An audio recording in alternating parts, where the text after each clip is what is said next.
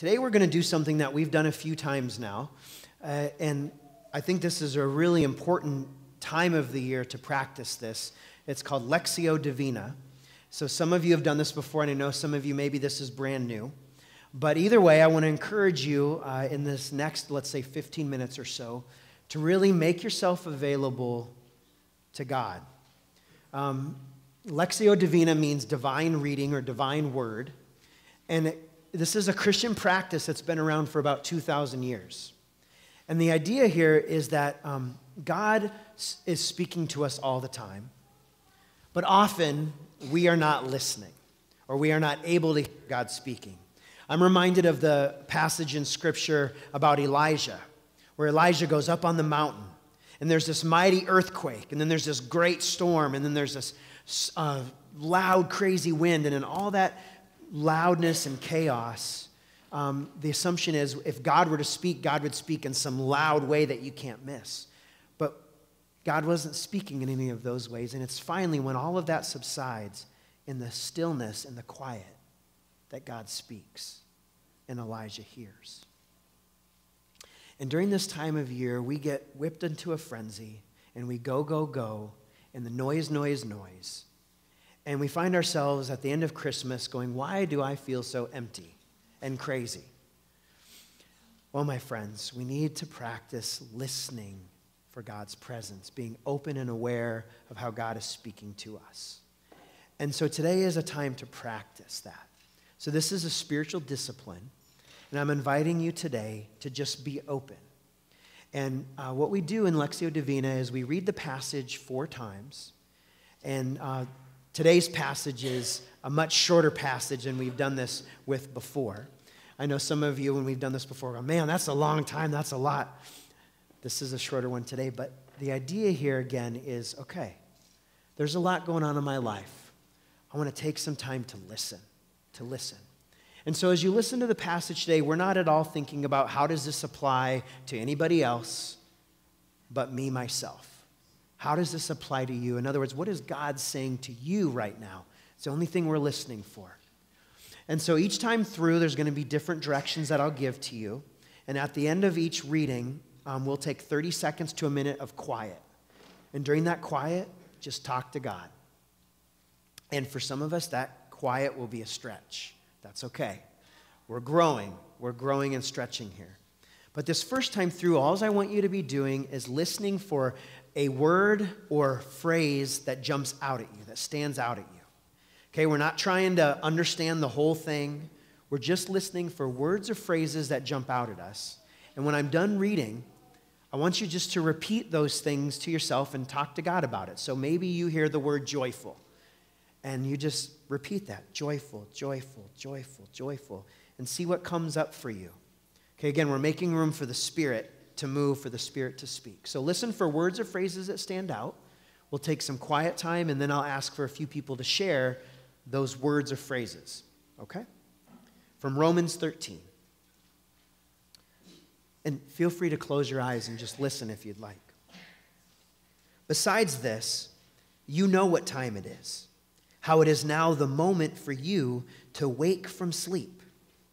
For salvation is nearer to us now than when we became believers. The night is far gone, the day is near.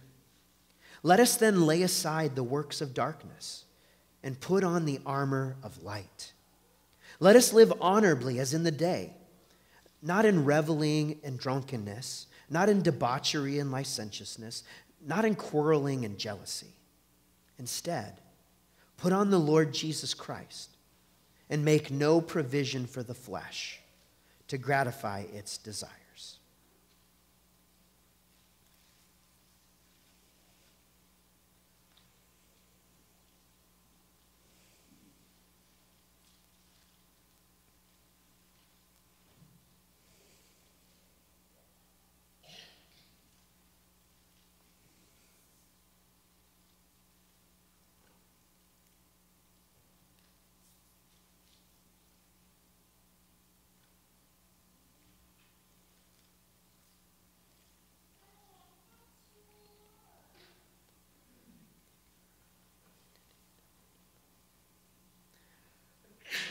Okay, my friends, um, we're not going to share anything more than a word or a phrase that popped out at us. So if you've got any of those to offer, please, what word or phrase stuck out to you?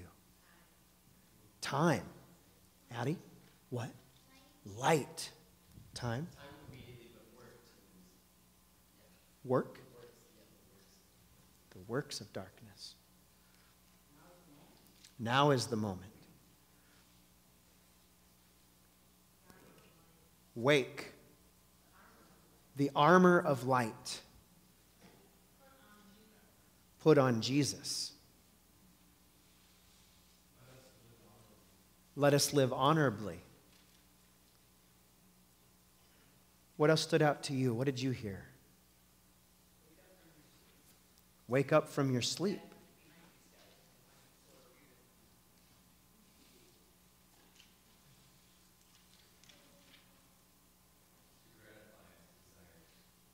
To gratify its desires. Any other words or phrases that stood out to you?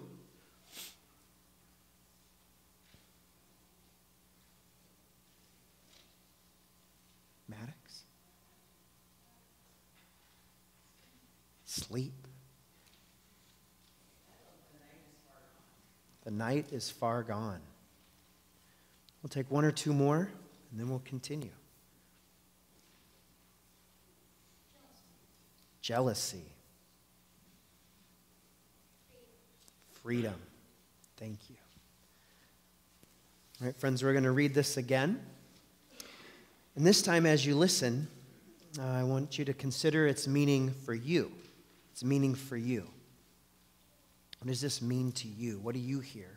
And again, we'll have uh, some quiet time afterwards and meditate on that meaning. Talk to God about that meaning, that meaning for you. Romans 13. Besides this, you know what time it is, how it is now the moment for you to wake from sleep. For salvation is nearer to us now than when we became believers. The night is far gone, the day is near. Let us then lay aside the works of darkness and put on the armor of light. Let us live honorably as in the day, not in reveling and drunkenness, not in debauchery and licentiousness not in quarreling and jealousy. Instead, put on the Lord Jesus Christ and make no provision for the flesh to gratify its desires.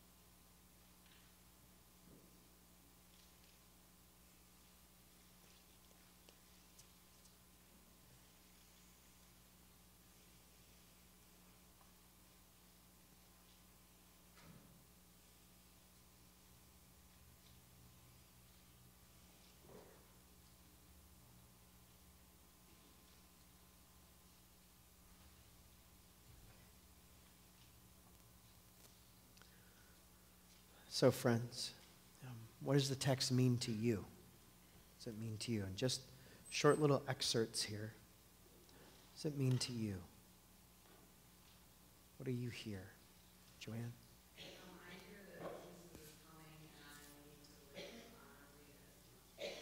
Jesus is coming, and I need to live honorably as he wants me to. Thank you. What else? Daniel. Hmm. You're supposed to be like, you already know what this is supposed to be like, but there's so much weighing you down before you get to that point. Hmm. You already know, but there's so much weighing you down. So it's kind of a be aware of that. It's already there, just what's weighing you down. Okay, what does it mean to you? What do you hear? Leona?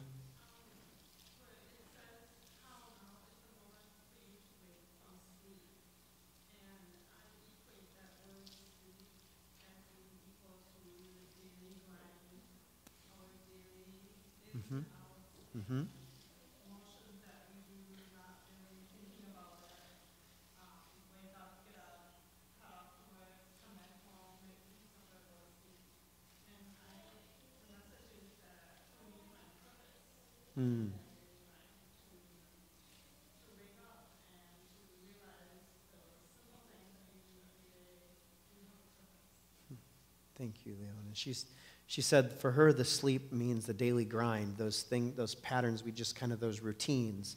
And the wake up means find the purpose in that.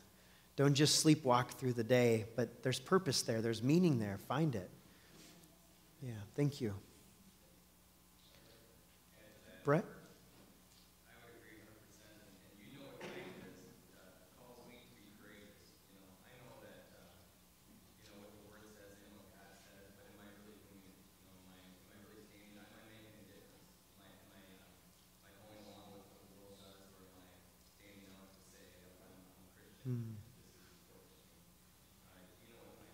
You know what time it is.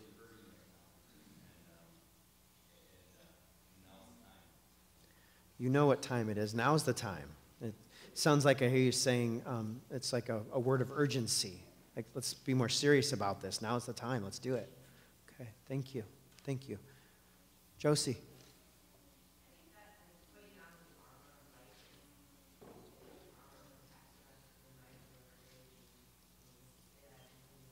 Uh-huh.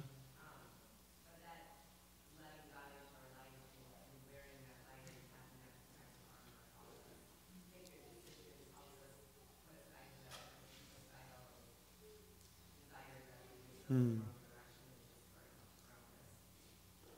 Josie was focusing on that part about the armor of light, and it made her think of the armor of God, like in our Sunday school and our children's ministry that they sing all the time. And the idea that when we put this on, we're protected, but also helps us to live the way God wants us to live. Yeah. Thank you. Thank you. Go ahead. Mm, put it on means do you have to do it. You put it on. It's intentional. You got to put it on. Thank you, John. Andy.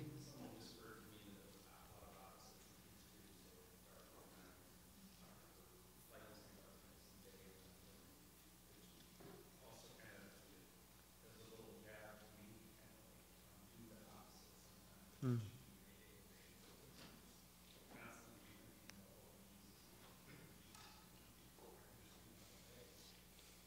Hmm.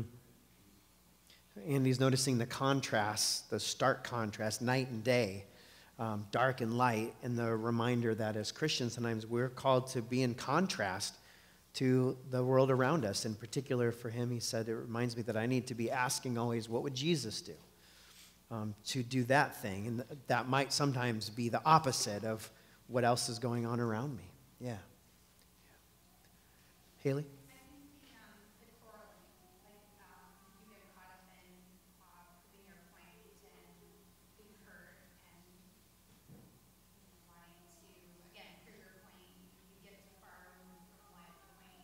Hmm. Mm-hmm. She heard the quarreling and how often we get so caught up in proving our point or trying to win the argument that we totally lose track of what it was all about to begin with. And it gets us off track. That's absolutely true. Anybody else? We'll take one or two more here.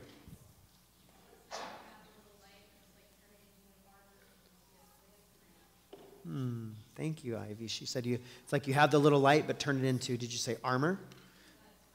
Let it surround you because He has plans for you. So this little light isn't just to keep right here, but it's God has a plan to use it. So let it surround you. Thank you. One more. Ginger.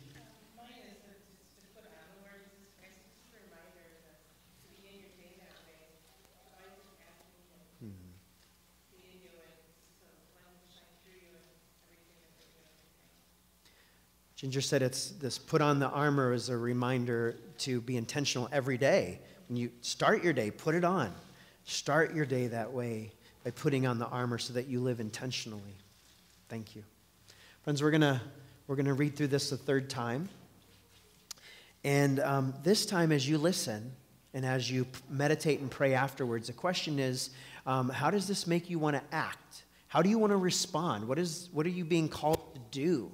As you listen to this, as you listen to this this time? What, how are you being moved to change or to do something you haven't been doing? How does this make you want to act in your daily life? Okay? Romans 13. Besides this, you know what time it is, how it is now the moment for you to wake from sleep. For salvation is nearer to us now than when we became believers. The night is far gone, the day is near. Let us then lay aside the works of darkness and put on the armor of light. Let us live honorably as in the day not in reveling and drunkenness, not in debauchery and licentiousness, not in quarreling and jealousy. Instead, put on the Lord Jesus Christ and make no provision for the flesh to gratify its desires.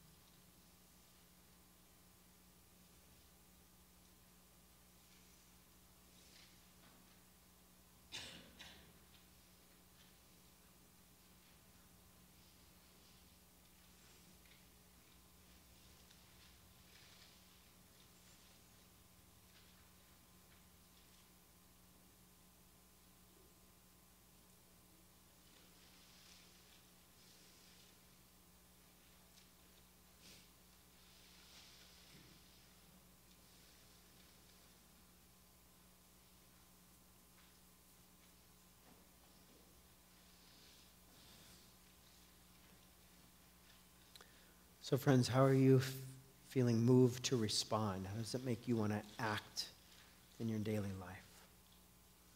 How is God speaking? Where do you hear God speaking to you here to do or not do? Live honorably.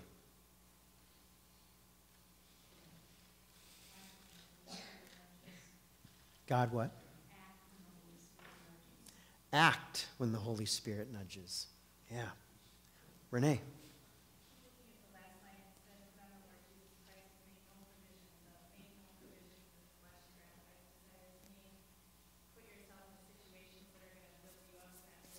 Hmm.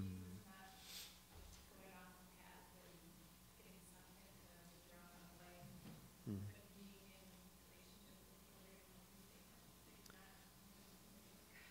This make no provision, Renee hears in that. Okay, don't don't put myself into situations where I'm going to be drawn away from God. Instead, surround myself with people and places that help me connect with God. Help me connect with God. And, and let me say, I want you all to be thinking, how does this make you want to act? The tendency as we read this will be able to think, well, you know, uh, I know how our society should change. No, no, no. You. How do you want to act? Ken.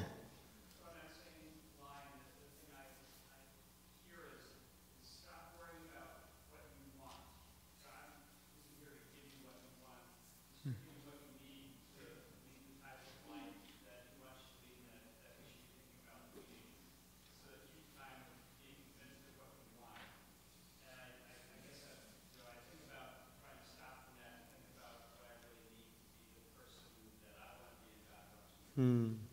Thank you, Ken. That challenge to stop focusing on what you want and instead realize that God will give you what you need. How do I become who God wants me to be? Thank you, Ken. Thank you. Christy.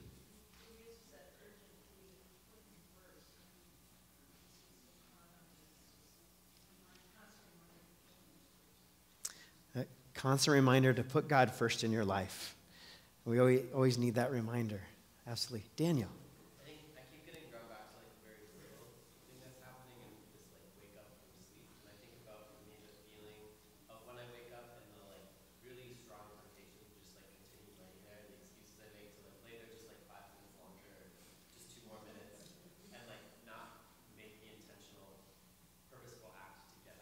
Mm-hmm. and how real that is in like so many other situations other than waking. That there's so much temptation and excuse making to stay still and to be stagnant and to not really and this calls me to move to, to be in action. Hmm.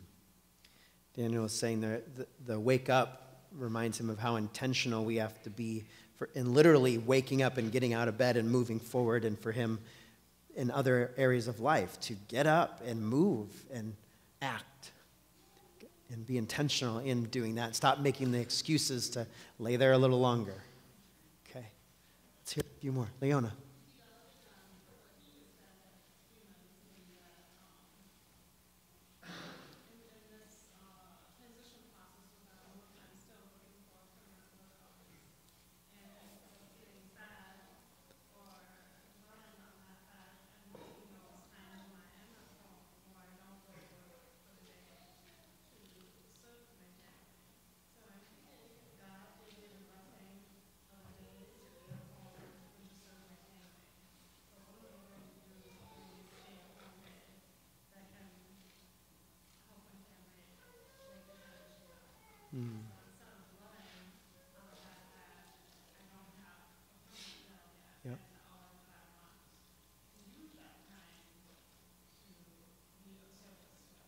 See it as a gift or opportunity.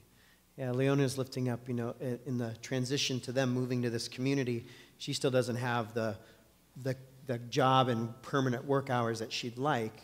But instead of dwelling on how that's not what she wants, instead looking at, oh, I've got time at home I wasn't expecting, maybe that's an opportunity to serve my family, to help them make this transition. Uh, we can see, you can see it as a gift rather than as something in the way. Absolutely. Absolutely. Anybody else?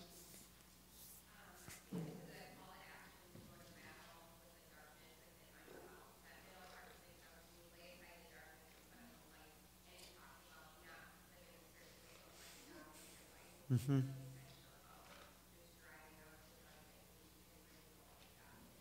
Yeah, thank you, Chelsea. She, for, for Chelsea, it was really that middle section about driving out the darkness and letting the light in and, and saying, you know, daily I, ha- I have to make that, I have to be aware of that and be intentional about um, pushing the darkness out and, and welcoming the light in, and that that's a daily, a daily battle for us. And we all have that darkness in us. Yeah, Andy.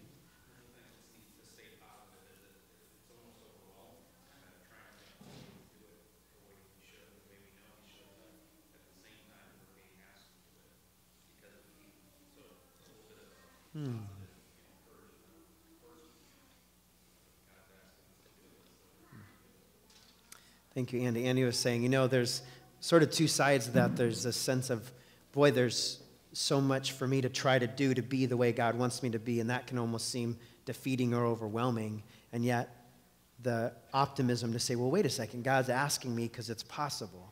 So let's just work for that, right? And live into it. And of course, it won't be perfect.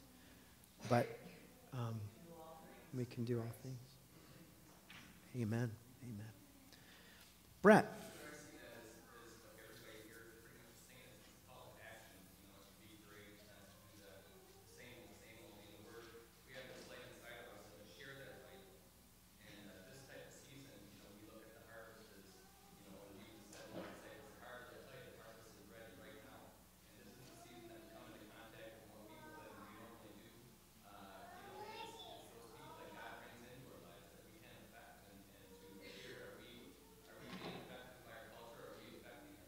Mm-hmm.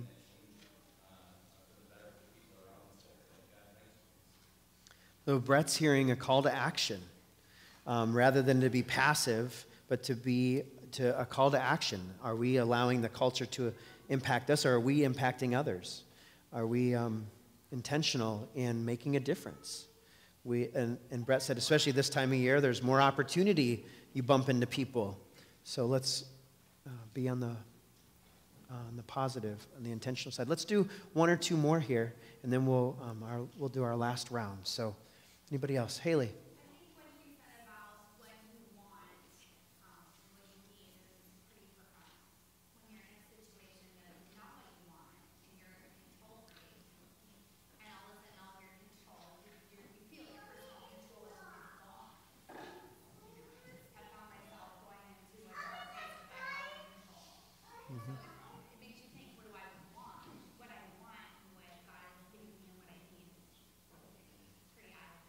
Mm.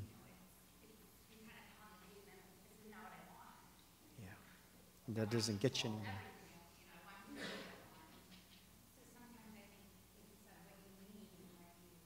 Hmm. Haley's really hearing this call to hear that, to recognize the difference between what I want and what I need, and recognizing that focusing on, on what I think I want um, isn't helpful, but rather, what do I need? Let's do one more. Anybody else have, have something to share? How does this make you want to act? How do you want to respond? What's God stirring in you with this text? Annette?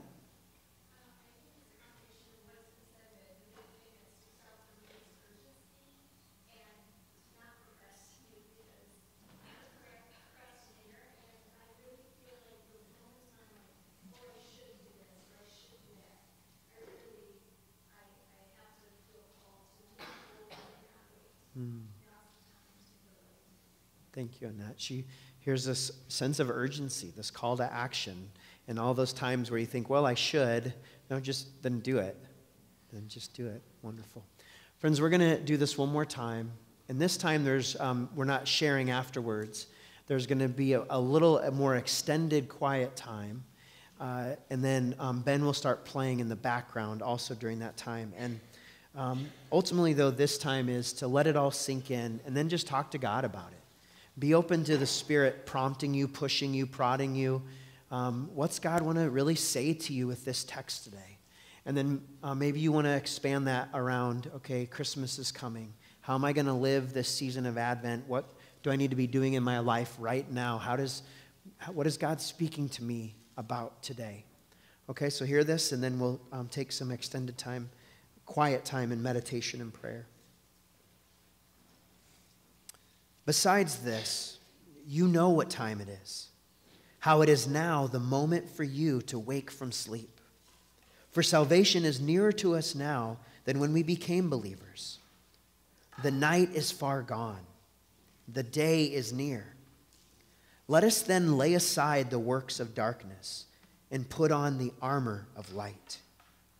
Let us live honorably as in the day, not in reveling and drunkenness, not in debauchery and licentiousness, not in quarreling and jealousy.